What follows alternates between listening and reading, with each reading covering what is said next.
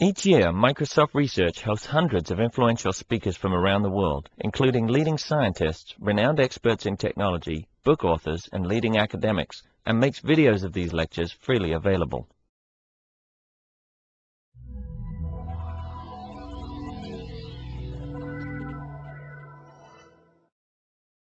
Uh, it's my pleasure today to introduce Valerie Petrushin, who is a senior researcher at Accenture Technology Labs in Chicago and is now visiting Seattle attending KDD and graciously volunteered to come here and give a talk and spend some time with us. So Valerie has done a lot of work in many areas and today he's going to talk uh, about an interesting topic in emotion and speech and what you can do about it. Valerie? Thank you. Is, is it, oh, it's down. It's, it's literally down. okay. Can you hear me? Okay. I can. uh, okay, Accenture Technology Labs, it's a mm, very applied lab uh, um, and rather small if if you compare to the size of the company. Company now it's uh, about probably 80,000 people, uh, consultant, consultants, uh, and in more than 50 countries. And and technology labs, it's actually labs. We have two labs, research and development. And research lab uh, is uh, rather small. It's uh, about probably uh, 60 people in three uh, sites. Uh, in Chicago, it's approximately half of these people. In Palo Alto, Silicon Valley, everybody is, would like to be there. And um, in uh, Sophia Antipolis in France, it's uh, Euro- Euro- European Silicon Valley actually. Um, and uh, our actual mission is to, as research uh, lab, is to watch what uh, kind of technology emerges and uh, how uh, this technology could be useful for business. Uh, and we're working in uh, ubiquitous computing, sensors, uh, multimedia, speech, uh, in all this all this area, and uh, it's uh, rather applied research. Uh, we are doing some research uh, close to say basic research. Then we need to develop some uh, demos or prototypes and uh, show this uh, to our clients at the workshops. Uh, to some extent, we actually in a um, we create some image to the company. That's why company likes us. Uh, and um, I uh, I'm with the lab uh, almost seven years, and I did a number of research in speech, in multimedia, and in um, data mining. And today I, uh, I, would like to talk about uh, emotion recognition signal uh, in speech signal. It uh, actually was my first uh, project at uh, Accenture Technology Labs uh, six years ago or so. Um, and I, I will, after some introduction, which actually defines some terms, uh, psychological terms. I'm not psychologist, you know, I'm applied mathematician and computer scientist. Um, and then uh, I will talk about why we're doing this and how we did this. Um, what is emotion? Uh, some um, definition is emotion is the psychic and physical reaction. Subjectively experience a strong feeling and physiological environment changes that prepare the body for intermediate vigorous action. And it's true for uh, some emotions, for uh, so-called maybe basic emotions uh, like anger and fear, but uh, uh, psychologists are looking at this much wider, and they have a taxonomy of uh, several dozens of emotions, and uh, among them such as uh, like love, hate, you know, and it's uh, uh, and some of them is uh, very difficult to actually detect if you have a very narrow channel like speech or uh, speech and image, and if you don't have any information about the context or uh, the personality of uh, a- subject.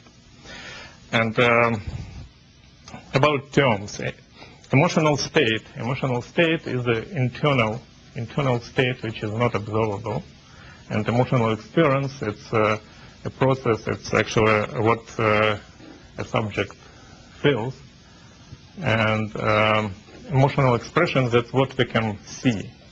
Um, and emotion actually considered as a rather short, a rather short event.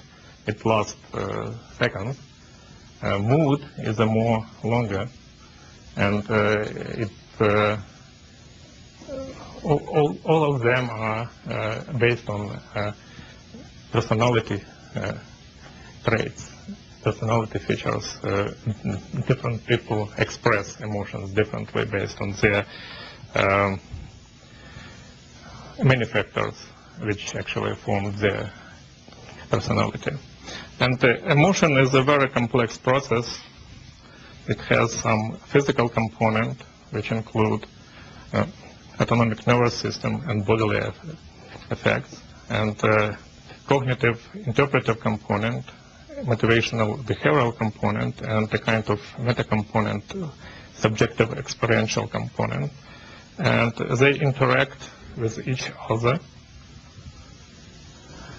a somatic or physical component is uh, some uh, physical um, processes like shaking, trembling. Piloerection is when your hair stands up. Uh, and uh, motivational behavioral component uh, uh, it's your inclination to act or not to act. It also includes facial expressions and some other expressions. And um, cognitive interpretive component, it's based on a, on a person goals, wishes, expectations, and um, say uh, you are angry because you are not reach your goal.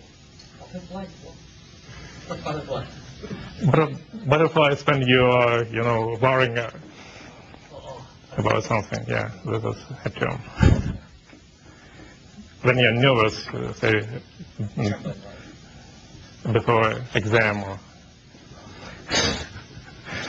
Uh, If you could define it all, like this. It's it's it's some uh, term. Yeah, it's, I'm I'm. I'm not sure that psychologists, uh, uh, among psychologists, you know, there are different schools, uh, different groups, and they actually uh, argue with each other. I, I'm not a psychologist, you know, I try to stay away a little bit. Just, and um,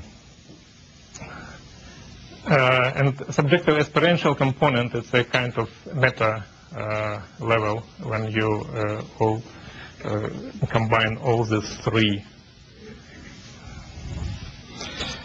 And if uh, you look, say, on some um, uh, values of the, these components, for, say, for fear, expressive component, it has somatic behavioral and communicating uh, and it's uh, somatic it's some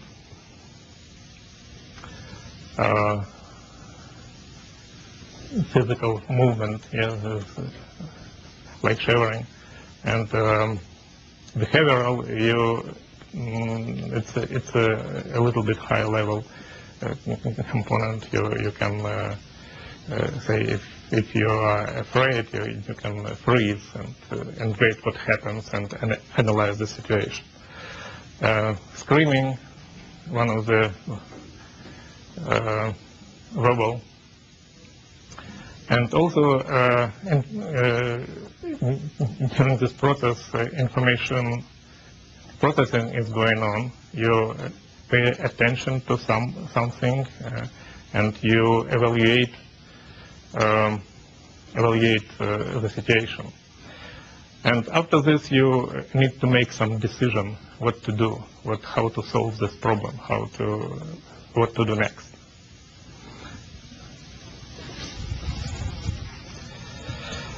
And if you look at some psychologist uh, classifications of emotions, it's uh, it's uh, rather uh, say e- oh, oh, first in this, and then I, I, I will comment. Uh, this uh, emotions, uh, these are some events. Agents or objects which actually uh, raise these emotions. And uh, there, there are some uh, actually goals, norms, and attitudes which actually evaluate these uh, um, objects and uh, events. And based on this, we can classify emotions according to uh, the goals, uh, is it uh, achieved or not, uh, norm-based, say, pride or shame or admiration, based on the norm of the society. And uh, some attitudes like love and hate, and some compound emotions, uh, anger, it's, uh, you know, something doing uh, not in standard way and uh, mm, your goal is not achieved. Say somebody cuts in line ahead of you. And if if you look at this, it's it's uh, it's very hard to actually uh, find some um, evidence which can you classify this em- emotions uh, based on uh, um, what you can hear and see. Another another classification it's uh, based on uh, actually reward and and punishment, and it's also not uh, very you know easy to infer, and uh, the that's why uh, there is a kind of gap between what psychologists think and uh, classify as emotions and what we can actually uh, recognize. And uh, for recognition,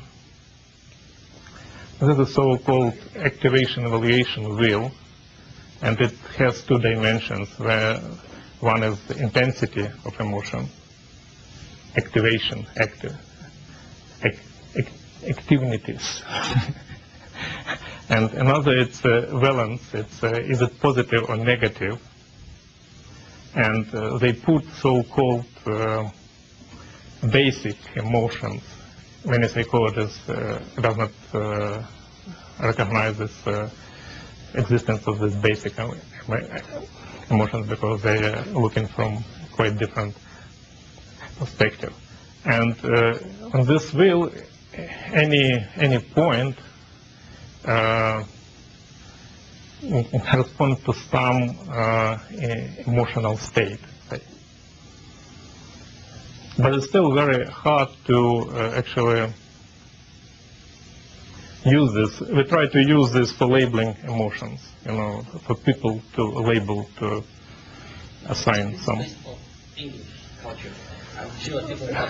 Yeah, yeah. Emotions actually, even different subcultures have different, actually, kind of different uh, way to express emotion. And and this is true. And uh, I, I I I will talk a, a little bit later about it. And um, and we try to use this wheel uh, uh, for labels, and it's uh, it's it's very hard for for people to do this actually to uh, recognize, say, on this scale, what kind of emotion is this. That's why we actually just you know multiple choice. It's it's it's better for some subset of this, uh, say, basic emotions for labeling. Um, but you know, if you have this uh, multiple choice, each each emotion actually may have uh, some quality. I mean, some better better portray some emotions. Uh, some people not. Okay. Uh, why it's very important uh, first, at some uh, theoretical aspects, and uh, and emotions uh, and expressing emotions interact with language uh, because uh, there are some rules how to actually say um, question the voice uh, the pitch going up at the end of the question in English side and uh, uh, for surprise the pitch also goes up. And uh, uh, you can be su- surprised but it's not a question actually. Uh, and uh, uh, emotions interact with uh, say typical um prosodic patterns of uh, different linguistic uh, phenomena. And um, it's also business applications for call centers, security, improving uh, automatic speech recognition, and uh, learning application, uh, lifelike agents, learning language etiquette, student modeling. Say if we, if we recognize the student uh, current state, we can actually uh, learn something. Does it like this course? Does it learn something uh, from this uh, interaction. And um, uh, there are some works in this area. Klaus Scherer from Geneva University, he, he, he is actually a psychologist, and he is doing this research for probably 20 years or more. And uh, Alex Waibel uh, did some research on how emotions uh, influence speech recognition. Um, Ron Covey and his group, it's a linguist, and they try to uh, learn how emotions interact with language. Um, Janet Cahn from MIT, now she is with Motorola, she did her dissertation on emotion expression. And Iain Murray and his colleagues from Dundee University, they also uh, did some research on expression. Nick Campbell, uh, uh, he's uh, actually doing a little bit uh, wider uh, research. He uh, said that uh, it's not only emotions important, it's the quality of voice important. If I'm talking to my wife, I'm talking different if I'm talking to my mother-in-law or to my friends or to my kids. And how we can distinguish all these styles. And uh, they're doing uh, uh, quality of speech research, uh, in, including emotion. And uh, there are some other, uh, there is an interest uh, from companies like Accenture. here. And uh, some other companies like Sony, uh, uh, Sony created this Aibo robot who uh, interact with a human and they need to understand emotions and express emotion. And uh, when I started this, uh, it was six, uh, almost seven years ago. Um, actually, the- the- there is no databases uh, for emotional speech uh, were available. Uh, Sudas has some, some, uh, but it's not enough to do research. Now there is a, a database. It's uh, emotional prosody speech and transcripts, and it's a rather rather big database, but it's uh, emotional numbers. It's it's numbers. It's only numbers. And uh, ToBI, it's uh, another database, but it's uh, actually related to uh, different um, uh, intonational contours uh, than to emotions. Now there is about uh, 30. It's it's it's got much more popular recently, and uh, now there is about 30 databases. Most of them are not available. They, I I, I produced two two of them. it's a proprietary databases. Okay. Back in 1998, we were, interested in, uh, doing emotion recognition with some business application. But uh, it was no databases, uh, and what we did, we started to create a just small database which uh, five emotions, happiness, anger, sadness, fear, and neutral and emotional state, and with rather high quality of signal. And uh, what uh, was on the agenda is to learn how human recognize emotion uh, and select the most distinguished features and create the recognizer and um, uh, compare to uh, how computer can recognize. And because we uh, try to do this for business, uh, the objective was to create a speaker-independent recognition. And I asked my colleague, and 30 people take part in this endeavor, and it's uh, four sentences. This is not what I expected. I'll be right there. Tomorrow is my birthday. I'm getting married next week. And they uh, pronounce this with five emotions. It's actually a kind of uh, artificial. Uh, but if when you, it's it's a it's a you know um, a kind of uh, argument that this is database. It's it, it has emotional utterances, but it's not natural. Yes, it's not natural.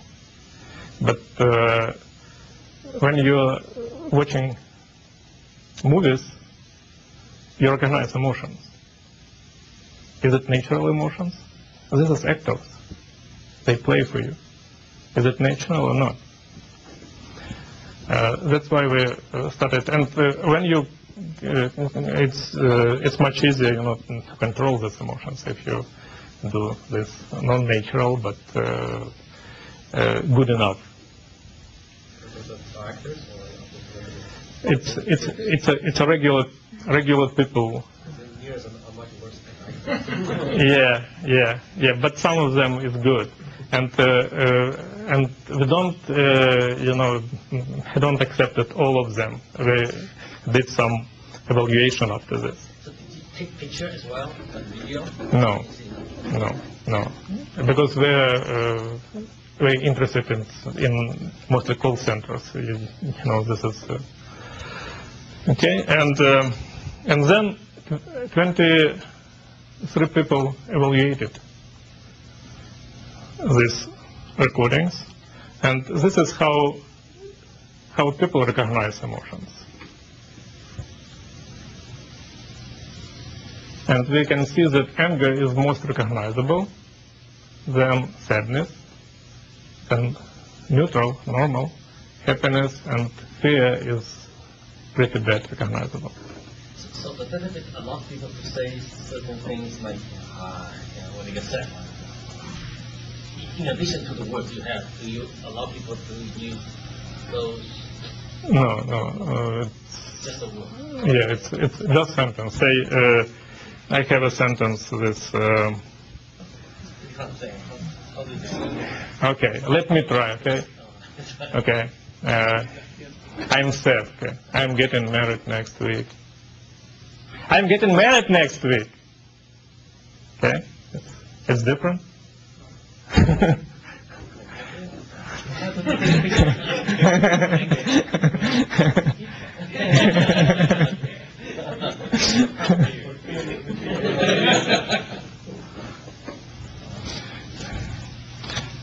okay, and uh, if you look at uh, standard deviation, that anger also uh, rather good. Uh, standard deviation is the lowest for anger. How many people did this? Sorry, How many people did the? 30. Uh, 30 people uh, portrayed and 23 uh, evaluated. This is 23. Oh, Twenty-three evaluated. Yeah.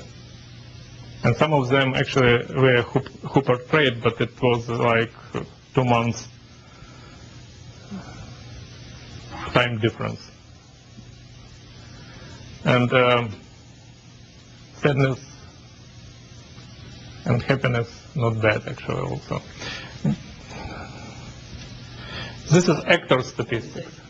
You're getting married, and they, how do you say that when they're afraid? Say. Okay. yeah, ask, ask, ask who recently did this. You have to use some other. Oh, okay. You have audio samples. Yeah, I, I, I have samples. Uh, I,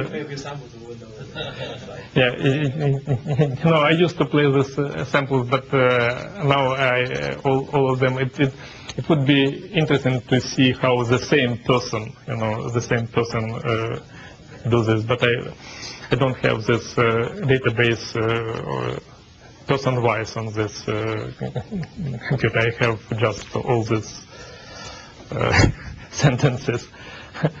And if you look on actors, at how people, uh, how good people uh, express uh, express emotions, portray emotions, okay, uh, then uh, we can see that anger is also uh, the best. And, uh, but standard deviation is much higher.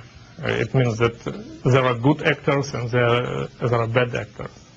Okay. This is the same, same uh, five sentences, but now done with actors. Yeah, yeah. It's it's no no no. It's it's it's uh, it's actors. It's all these people, and we uh, um, uh, this we look how how people recognize emotions.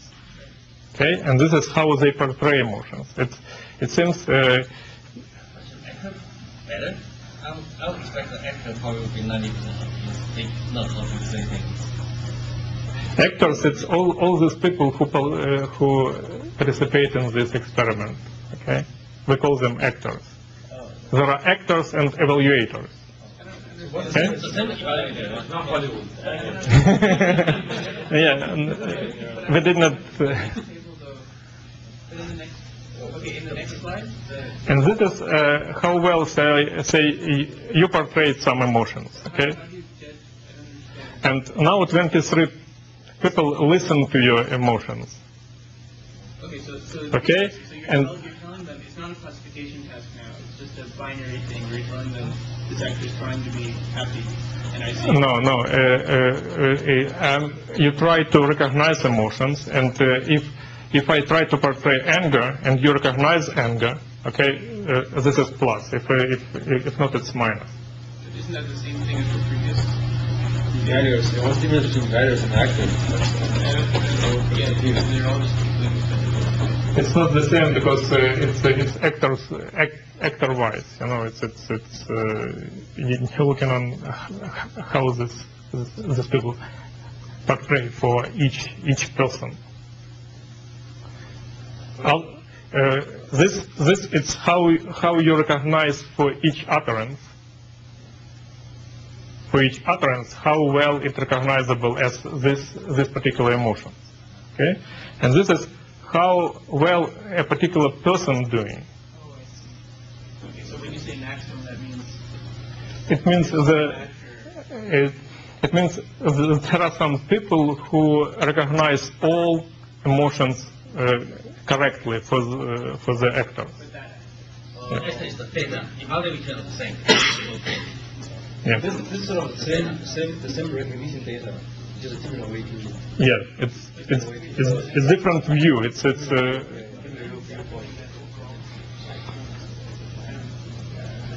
okay, and this is uh, it's uh, so-called self-reference. It's how people recognize their own emotions. It's two months past, and you can see that some some people uh, doesn't recognize the happy emotions. These zeros, you know, the zeros. but uh, in general, it's much higher. The rate is much higher, and. Uh, uh,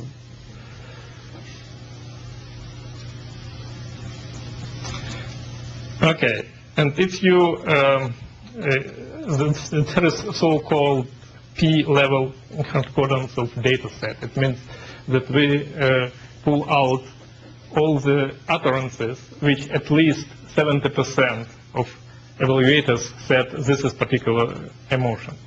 Okay?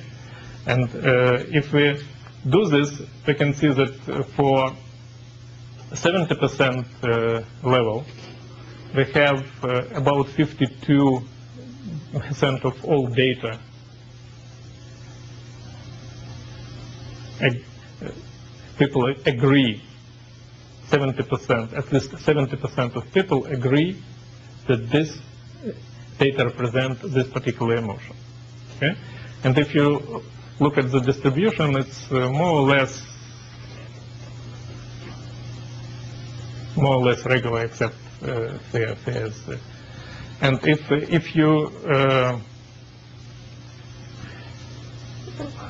if you put this level higher, you can see that only angry and angry utterances uh, more recognizable. Say uh, for 100%, when everybody agrees that this this utterance particular represent particular emotions, most of them it's uh, like 66% of them it's uh, anger.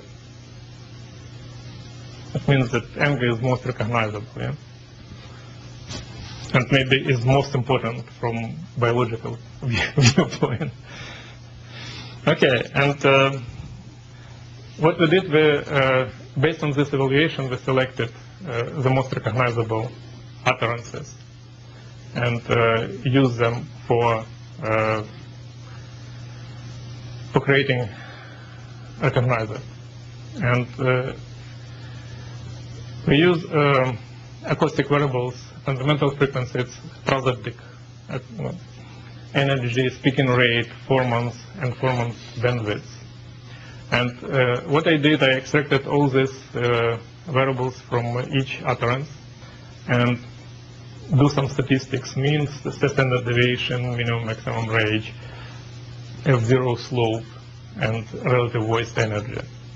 And then I, uh, I applied some, yeah, and uh, this is some utterances. It's the, same person pronounce uh, this, tomorrow is my birthday, and uh, the, the top one is uh, neutral. Then it's anger, happiness, sadness, and fear.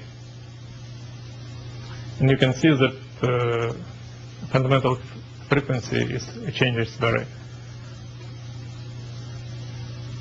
much. This is another example for uh, fundamental frequency, but it's also um, for months. Four are, Same speaker, huh?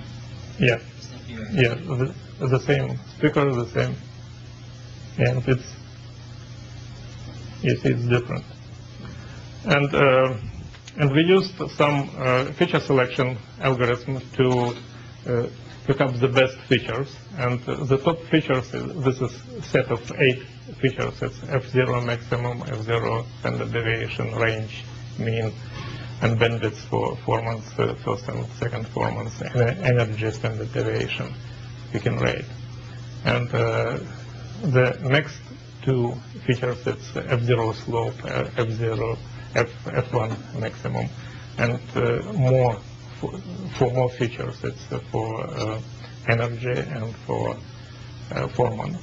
And we use these three sets and train neural networks and some other algorithms for recognizer. And uh, first it's uh, for some baseline. I edit k nearest neighbor classifier for this. And then uh, it was, you know, six years ago, neural networks was still very popular. Now probably SVM would be the first choice for this. And maybe I, I, would, I, I would get some improvement, 5, 5% or so. But uh, at, at that time we did this neural, uh, neural networks. And um, used different uh, and ensembles of neural networks, and we use different techniques, uh, books, uh, bootstrapping and uh, cross-validations for creating these ensembles. And also I tried to actually do a set of experts. It means that each neural network is an expert for one emotion, and then combine the output of these experts. And let's look at the results. K-nearest neighbor.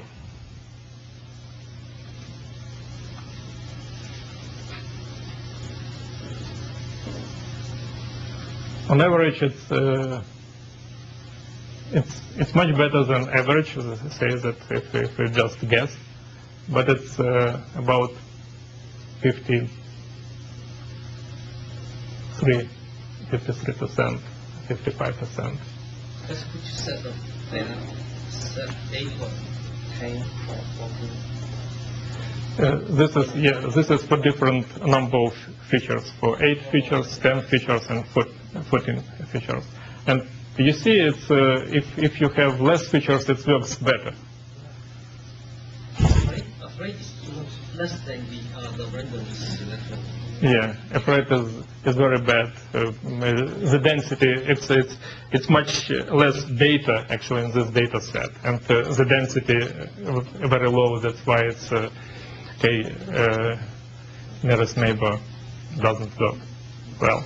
So do you have any idea what the variance is on these numbers? Uh, I don't have this uh, in, uh, but for, for uh, uh, it's it's it's not very much. It's it's it's about two three percent. It's not. So that's frame by frame. Also, you could frame by frame myself. Each frame have 14, 8, 14. Did? Uh, what do you mean by frame? Is this over the whole? The whole other? Yeah, it's, it's the whole utterance. Uh, we use these prosody features, okay, and uh, the unit which is uh, useful for prosody, it's a phrase. And phrase lasts from uh, one second to three seconds, okay?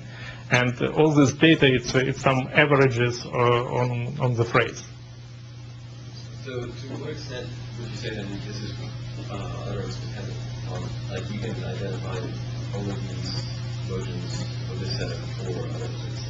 How accessible is it? Okay, I, I, I will uh, I will answer later. Okay, I, I did some. uh, Well, also, are these numbers, are they utterance dependent or is it just No, it's it's it's uh, for all the utterances, and uh, uh, actually,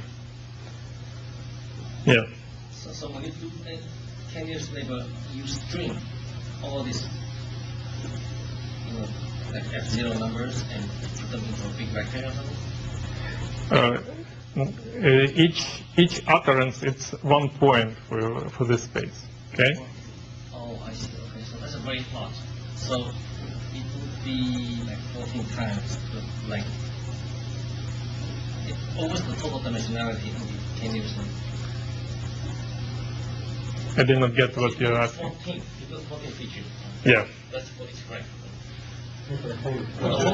For the whole utterance. Yeah. For phrase. With- This is this is short utterance. Okay. If if if The I example you show, I mean, it goes like this. No, but one of them is maximum, the other one is delta. Oh, I see, okay, okay, and the average, uh, I see. Okay, if, if it's if it's a long utterance, say if you uh, say uh, in Seattle we have aquarium, we have this, we have that, we have that. Okay, this is several uh, phrases, and in this ca- uh, we should cut and, and do this for each. Information column, you just extract information from different time. Well, it could the delta, the dynamic range, you know, those are features. It's Not, it's not all one. Not all the, okay, okay, so that extract. it's it's not segmental. It's uh, Okay. suprasegmental features. It's a summary of the whole. Yes. Yes. And uh, neural networks, this is an, actually ensemble of neural networks. We did this for neural networks, and it's uh, uh, and it was on average about 60. And uh, for ensemble of neural networks, uh, we used ensembles which are trained on different uh, sets of data and then uh, merge the, their results, uh, say, uh, by uh, simple voting. And we use uh, like uh, different number of neural networks in, in, in, in, in ensembles. This is for 15 neural networks in each ensemble, and we can see this is for different number of features and for different number of neural neurons in hidden layer. And uh, you can see uh, the performance, and on average it's, uh, it's about 70%. And sometimes it's even better for when you have less features than more features. And its uh, uh, sadness and uh, anger is a little bit better, and it was very encouraging for for us uh, for business application because anger is the most important for business. You know, if your customer happy, it's okay, but if uh, he is angry, this is a problem. And uh, um, and this uh, for expert neural networks, uh, this is the recognition for each expert. And for some experts, uh, they have rather uh, rather good recognition that this is not this emotion, because probably data is much more for norms than uh, for this. And then the problem how to unite, how to merge this uh, data for uh, experts. And what we did, we used just a simple rule, you know, just uh, who uh, just, just pick up the maximum and uh, this is the motion. okay? And uh, another is uh, uh, we put another neural network uh, classifier which actually has as inputs the results of this expert and try to learn the result. And it works a little bit better. You can see that on average it looks better than a simple rule, but uh, altogether uh, ensemble of neural networks uh, works much better than this even learned rule. And uh, after this, we created a demo. It's a it's a it's a game you can play ag- ag- against computer who recognize emotions uh, the best. And I, I have this demo, but it doesn't work on Windows XP. if, if you have, uh, it, it works on uh, NT, it works on uh, Windows 2000, it works on uh, uh, uh, 2003 server. It's actually NT technology probably, but it doesn't work on XP uh, because it, it, it was created in MATLAB and MATLAB uh, did something uh, different for, um, for NT, XP. Um, and this game, you just uh, listen to the some utterance and try to recognize emotions, and then computer recognizes emotions. And if if you are wrong and computer right, then computer gets scores, and uh, uh, and you can play. And you can play uh, against each other too. You know, it's a it's a full-fledged game. Uh, and uh, then we uh, use this for call centers. And for call centers, what we did, it's, it's uh, uh, call centers were actually interested in uh, agitation and angry, you know, if, if, if it's angry or not. And uh, we did two emotional states, you know, we downscaled actually uh, this research. And, uh, but it was much uh, worse quality of signal. And what we did, we uh, actually uh, asked people to relabel. Uh, and uh, what we did, we auto automatically find phrases uh, using the largest pause in an utterance and uh, uh, try to find phrases uh, from one to three seconds. And then give these chunks to, to people to listen and to actually uh, label them. And based on this data, we trained this uh, ensemble of neural networks. And this is the result of this uh, different ensembles. And uh, uh, on average, it's uh, it's uh, it's about 77, a little bit higher than 77 percent.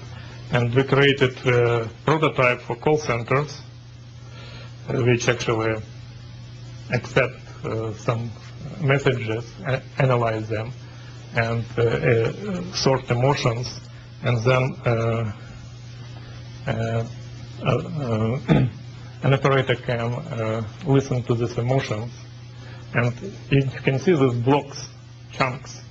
Each chunk, it's it's uh, it's a, a kind of phrase, and uh, aut- aut- automatically extracted.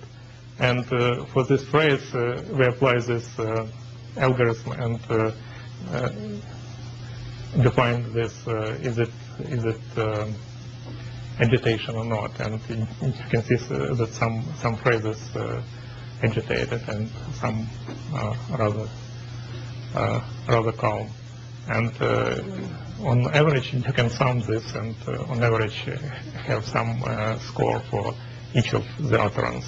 And these utterances uh, then sorted according to emotional content or it uh, also can be sorted according to some other parameters like duration uh, uh, and some uh, uh, percentage of silence, you know, some uh, date and time, and all, all of this. And, and and you can listen actually. And and this system it's also maps.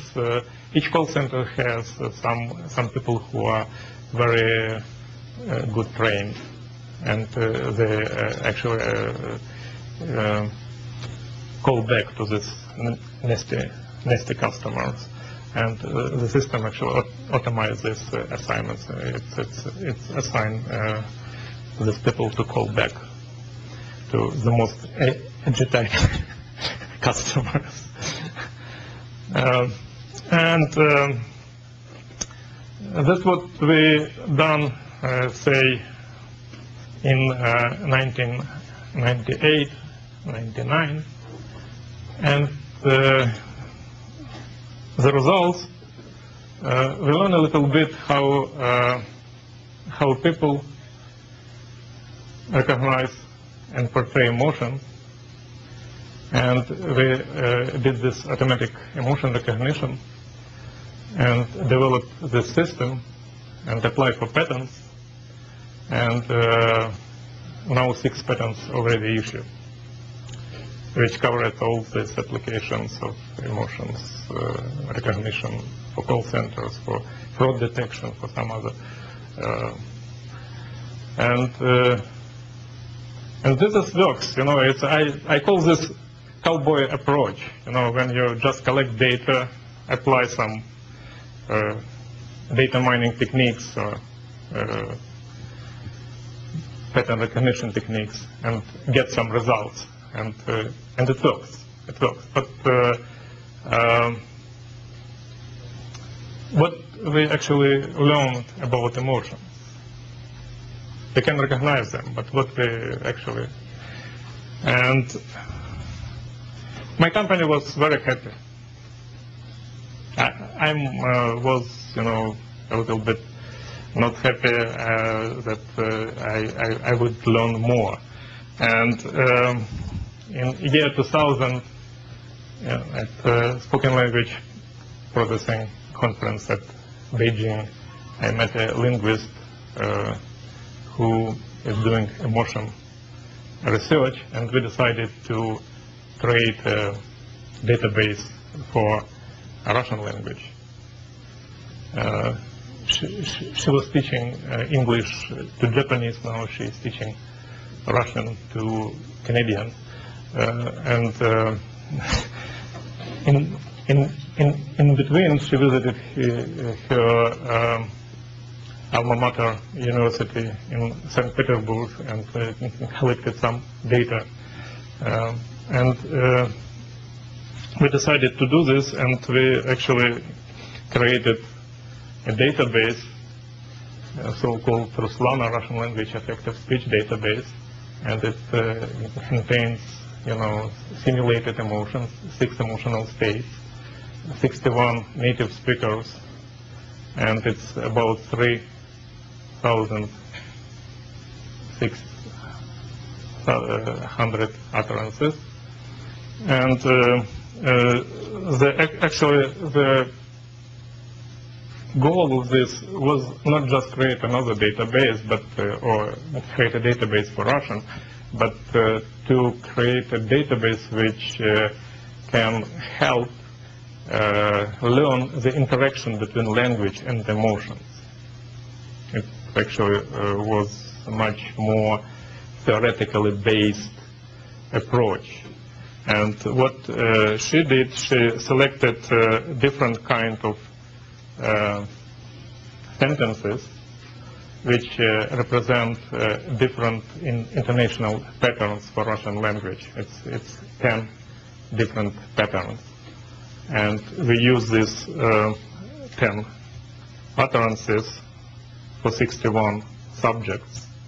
Uh, most of them are actually female uh, because it's li li li linguistic department of the university, you know.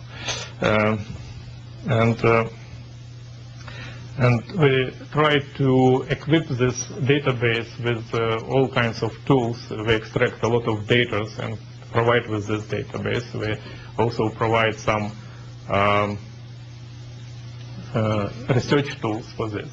And uh, we also use all these uh, acoustic variables.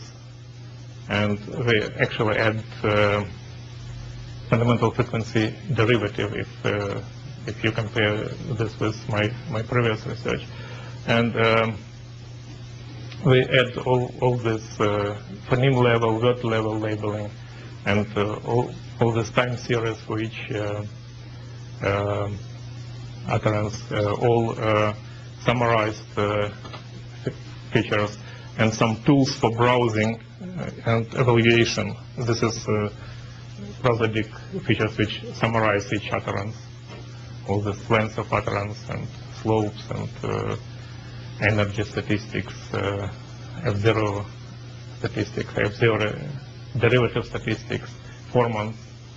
And we also mm, try to put this in uh, some traditional uh, format and uh, MPEG-7 representation.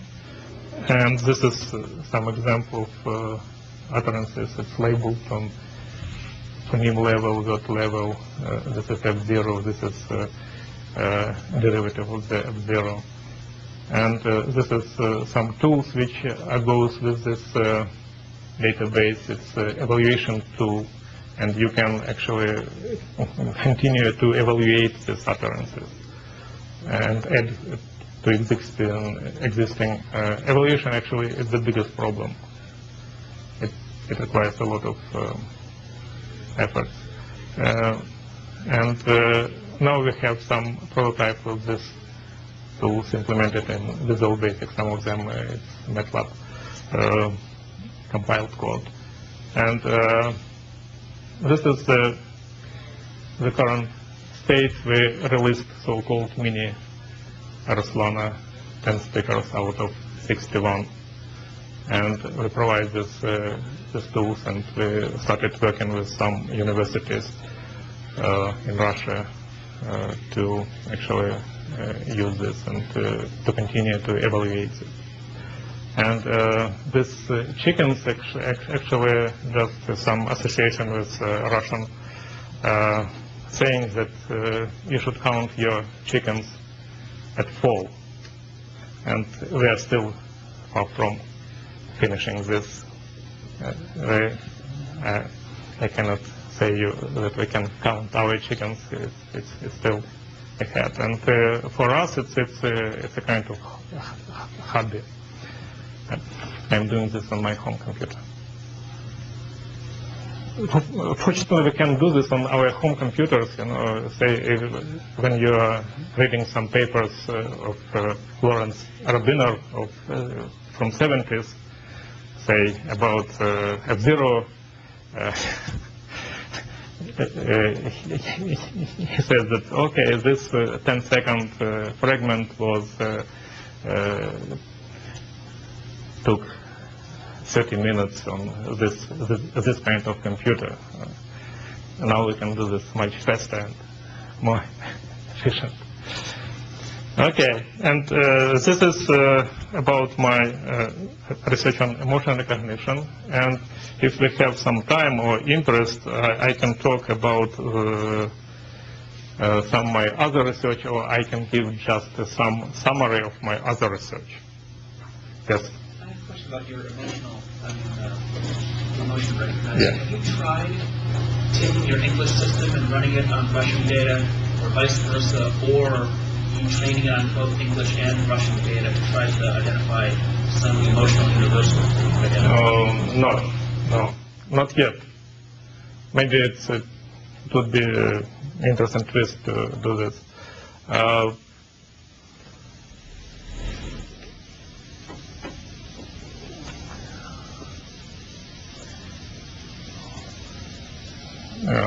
what I uh, yeah, em- emotions. Emotions uh, actually depend on culture and on language somehow. Okay, at least uh, we can uh, see that it depends on some uh, uh, on some uh, formants, and different languages have different uh, formant values. Uh, even- But I also know that when I travel, if I hear somebody arguing with a shopkeeper, it's very clear to me. I can identify when somebody's angry, somebody's sad, even if I know nothing about the language or can't Yeah. recognize what they're saying. So the- it seems like there should be some universals at play. Yeah. Even though Uh, it might not be as good as one trained on. I, I, I agree on some some kind of this research uh, uh, been done. I, I, I, I mean, not for running these recognizers created for different languages, but for uh, using different uh, uh, using people from different cultures to recognize emotions, and a lot uh, of them, you know, uh, many utterances, it's a, a high correlation of recognizing, especially for anger and happiness. Uh, Klaus uh, Scherer uh, did a lot of research of this kind. Is your recognizer trained using speaker independent data or speaker specific data? Uh, Get the result of your It's, uh, it's speaker independent. I, I believe we, can achieve much better recognition for That's a little bit difficult because for speaker, since you use the pitch, male, female, pitch different a lot. yeah, but And you hope that maybe for anger, pitch is high, but if you make the speaker with yellow, you actually dilute the kind of picture. yeah, but we actually normalize this uh, this pitch uh, somehow, you know. Normalize all the features Yeah. so that, oh, I see, okay. uh, you think you would do better if you supplied, if the task was, you know, given a neutral and uh, some other emotion, and you were able to extract features from both the neutral, compare them to features from the emotion, ill expression? And do you think you'd do get a lot from knowing what each person's neutral was in comparison to the emotion that you're trying to recognize? Oh, actually, this is the agenda of this uh, new coming research. You know, that uh, how different this on different levels on uh, uh, segmental level. I mean, on uh, uh, in phonetics, you know, on phoneme, on uh, sound level, and uh, uh, and how it, it in, interact with the language, you know, uh, uh, if, if, it's a yes-no question, uh, how emotion interacts with this uh, uh, intonational pattern for yes-no question. Uh, and uh, I, I, I did, but I, I did not publish uh, uh, uh, some result. Uh, I had some results for emotion recognition for uh, genders, you know, for female and uh, and male, and uh, it's uh, actually it's better.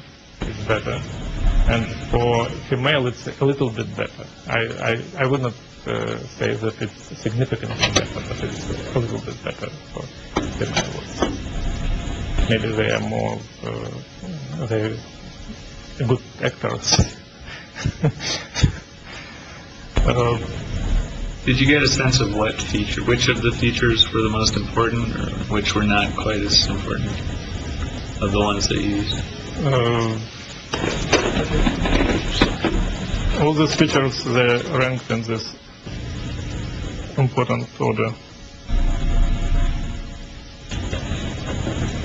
I see. So those were uh, just the best eight, the best. Yeah. So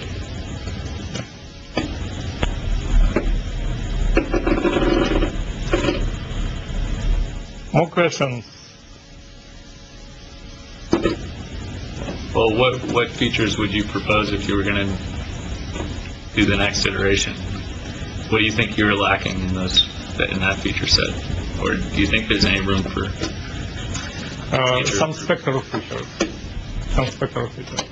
Because, uh, and uh, some duration of uh, uh, phonemes, you know, but uh, in, in this, in this case you should go deeper uh, on, uh, uh, it, it, it, it requires deeper analysis, you know, you, you need to extract, or say, all fricative sounds, recognize fricative sounds, and measure uh, uh, spectrum and measure uh, duration of the sound. And that's what we're trying to uh, find. Uh. How about like higher level features, just like the text? I know that Diane Litman has been doing this work, and the feature that she found most useful is just whatever was recognized. you idiot! Doesn't matter what the pitch is. Yeah, it's true. Uh, uh, at least a multimodal? there is I'm in German. You idiot! yeah, happy, yeah, yeah.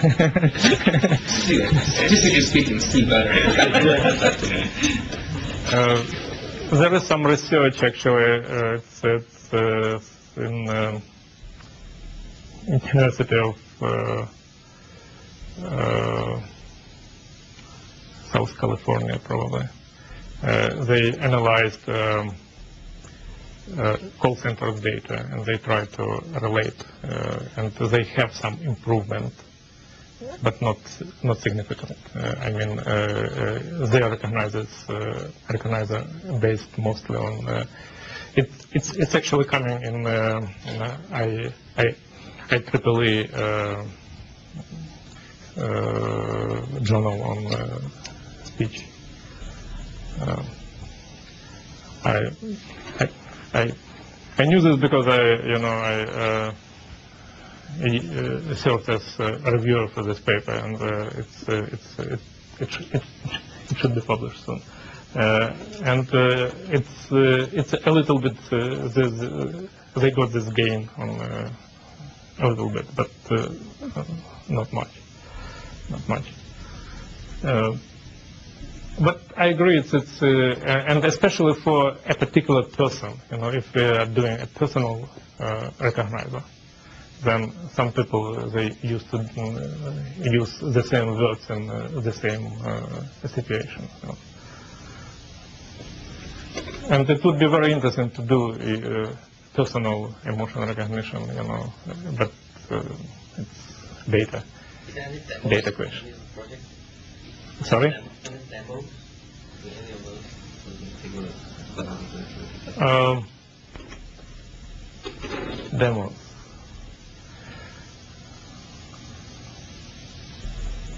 Yeah, I, I, I have some stuff for this. Uh, let, let me just uh, do some uh, annotation for this. Uh, speech signal segmentation, it's actually, it goes inside the speech signal and uh, try to extract uh, this quasi, quasi-periodical segments based on some approaches, and uh, um, it was very interesting. Uh, I, I started, you know, I, uh, I, I learned first what people do in this area, and it, uh, a, bunch of different approaches, and some of them very, very uh, uh, refined, and I uh, feel, feel that it's, it's, it's very interesting area. I, I, I would like to use, uh, you know, all my skills and wavelets or whatever to uh, do this research, and uh, uh, and turn out that uh, some heuristic algorithm uh, works much better than uh, all this technology. it's uh, For phones, phone level? The phone means, oh, it's uh, uh, it's uh, actually uh, for voiced part of speech for any any you know uh, uh, and So it, the goal is to align the frames with the periodic yes. signal? let me let me sh- show maybe a couple of uh, pages for this. Yeah the problem is actually to find this uh, this periods okay? And uh, for different applications it's uh, uh, uh, different segmentation are more valuable say for speech synthesis they use uh, this this kind of uh, fragments in order to modify to use this PSOLA algorithm. For uh, some basic research, glottal pulse in, in instance is the most important. And this would be interesting. For feature extraction, it would be probably useful uh, have this uh, uh, zero crossing when the signal uh, crossing with the highest peak. And uh, this is the problem. That's what we uh, try to find. And it, it, it turned out that I, I actually used some similarity measure first to find the similar and use some very simple uh, uh, greedy algorithm to actually uh, do this. But uh, it, it turned out then if you try to si- simulate how human doing this, it's much better. How human doing this, uh, I, I would start with somewhere in the middle where I, I can see this is uh, good developed patterns and then go in both ways to find other patterns. And then uh, we'll decide at, uh, at the beginning and at the end of this uh, signal uh, what uh, is my uh, point. Okay? And I actually implemented this kind of heuristics and it works much faster and much more, more precise. Okay, and oops, probably I have to go through this. Uh, yeah, this is examples how it works.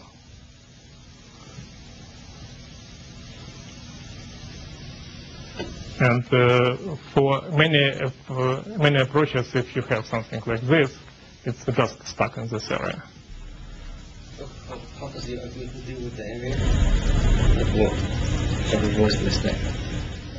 Yeah, but this approach is just you know find some uh, No random yeah some uh, uh, something close to actually to the mm, established speech, and it's uh, goes through the area and then finds uh, the real stuff again. And uh, the only thing which I, I would like to add to this is uh, some some kind of uh, reliability measure for each of these uh, points. And uh, I maybe will do this a. Okay, this is a more example. And this is how uh, synchronous uh, evaluation different from traditional approach.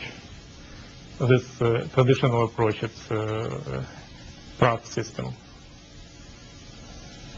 Are you familiar with this tool, Praat? Yeah. Netherlands. Yeah. Um, and uh, it uses uh, state-of-the-art FZero evaluation. It's uh, uh, frequency uh, domain. And uh, it, it, it means, uh, uh, and, and, uh, actually what it does, it uh, gets uh, 14 milliseconds, uh, evaluates this, and then assigns this to the first 10 milliseconds. Then step goes. And uh, it missed, it's, it's, it, it actually averaged over this 14 milliseconds. And uh, it missed some uh, fine details like uh, jitter. Uh, and uh, if you, you can see this is average, it's, it's, it's, it's moved, it's moved, it's shifted, the face shi- shifted. And uh,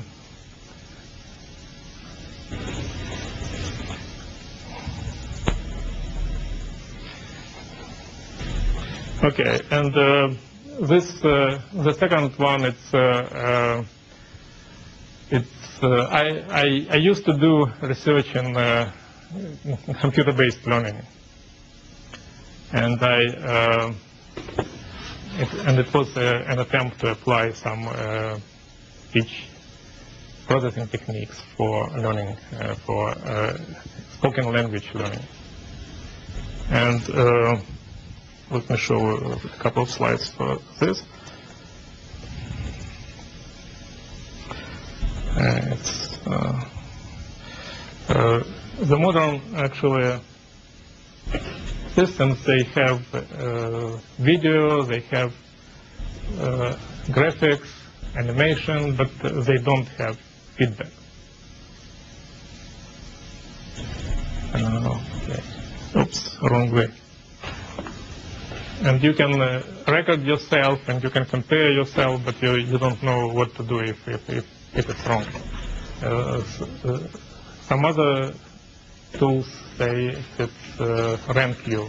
It's tourist, something in between, and native speaker. And it, it also does not tell you what to do if, if, if you're not native speaker.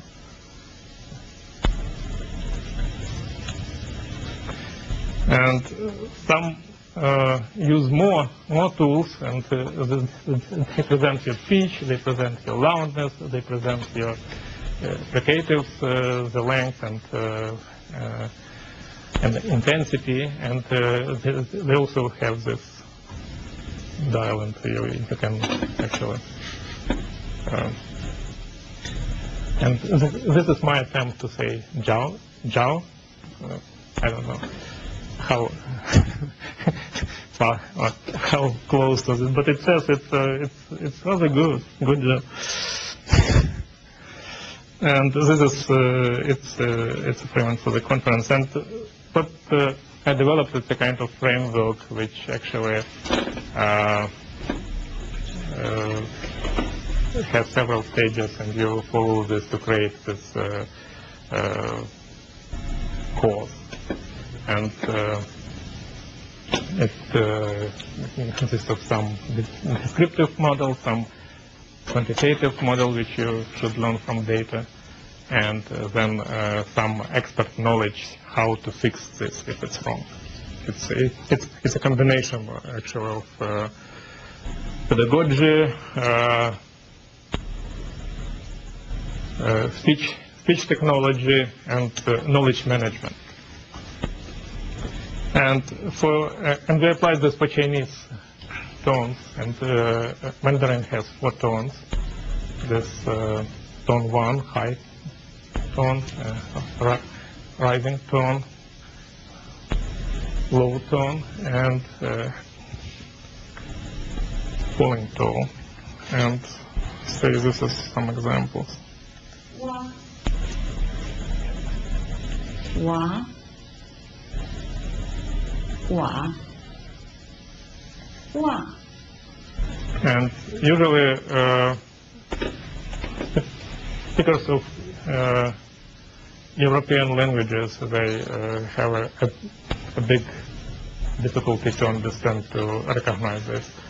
And what we uh, did, we did some, uh, we have a database of 200 utterances of uh, native speakers, and we uh, learn how how actually people recognize this for natives, or some they have actually two people who are close uh, to uh, native, say they uh, were exposed to, to these languages in childhood, and for non-native, and we see that non non-native uh, doing very bad.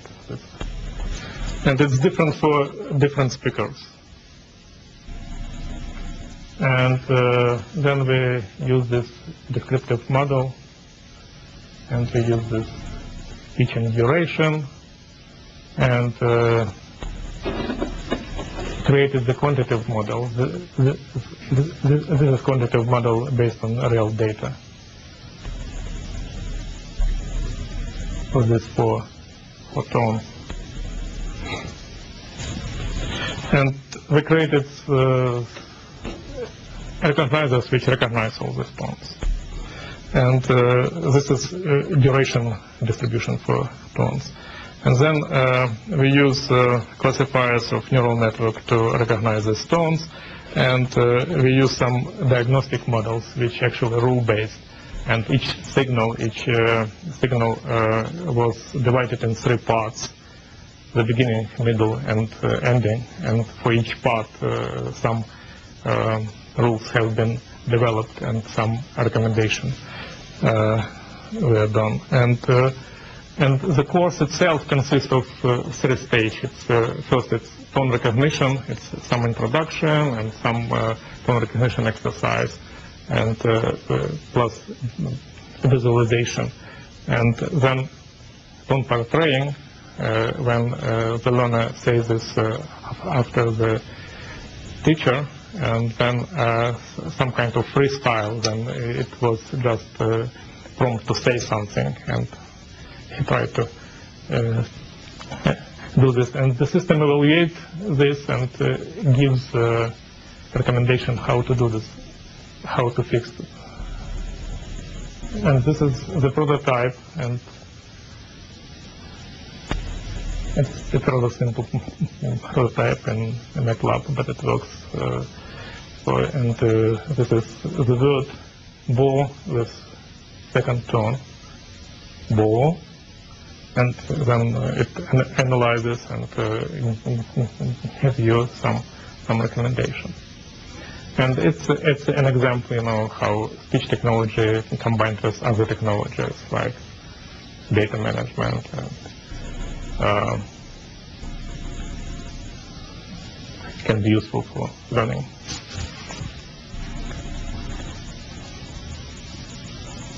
And this is actually for discussion how data mining can help.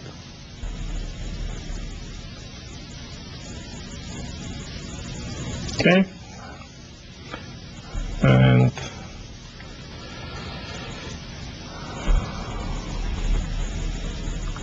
and I, I did um, uh, many other research. This is a community of multimedia edge, and it's actually it's, uh, to create a virtual community of researchers who are doing multimedia annotation, and they exchange uh, uh, some uh, algorithm in the form of uh, agents, and these agents are actually executables, and uh, this.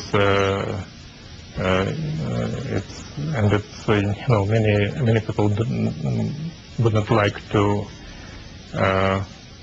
provide the source code, but they would be happy if somebody will use the executables, and this is uh, a kind of initiative. And now we are working with some universities to actually spin off this initiative to uh, find partners uh, who are interested in this. Uh, and uh, some other uh, research which actually combine video and um, speech. Say for this uh, video clip recognition, we use uh, uh, hidden Markov models, and we use Gaussian mixture models for audio, audio part to recognize clips.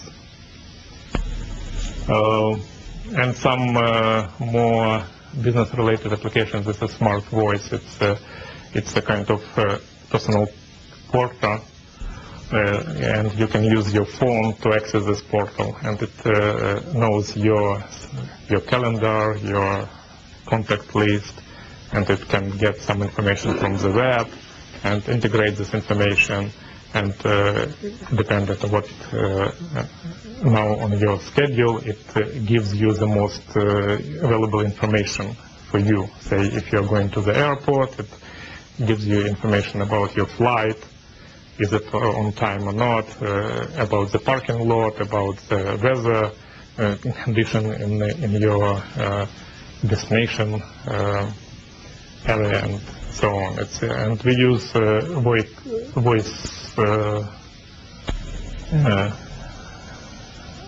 voice ML for this.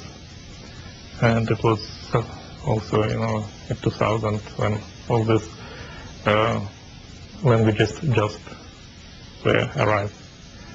That's what actually we're doing. At, uh, we just pick up some technology which uh, pops up and uh, and try to spin it off and to, uh, do some demos how it could be useful for businesses.